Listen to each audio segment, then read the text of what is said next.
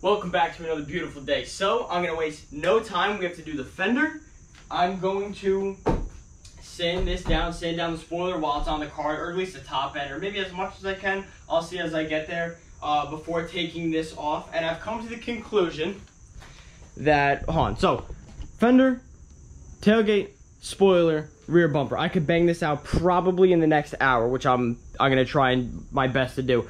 Uh, but I've come to the conclusion that before I take this off, I think I'm just gonna wrap this with the uh, the seal on there. I'd rather it be on there, just because I don't plan on re-urethane that. The front one wasn't too bad. They didn't do too good of a job. Whoever last repainted it, yeah. I, now you can see all the the lovely colors that this car has been. That is the factory color though. It was a, a, a really nice silver, but waste no time. So I'm gonna get right into it.